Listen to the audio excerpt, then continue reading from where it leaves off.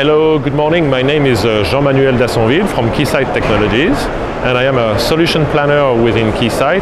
And what we are showing here is a Keysight contribution to energy efficiency measurement.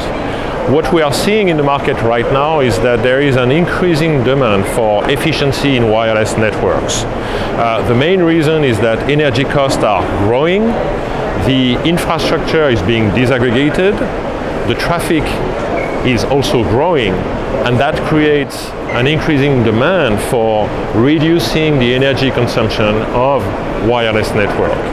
Here, Keysight comes with multiple domains of expertise, domains in the RF measurement, in the protocol measurement, and energy measurement. And the benefit of this domain expertise consists of providing insight into the energy consumption of radio access network, including radios, vRAN, DUs, and CUs. And Keysight is partnering with the key players within this industry to assess the gains that can be done by enabling sleep modes and uh, power saving capabilities within radio units and also within the virtualized networks. Thank you.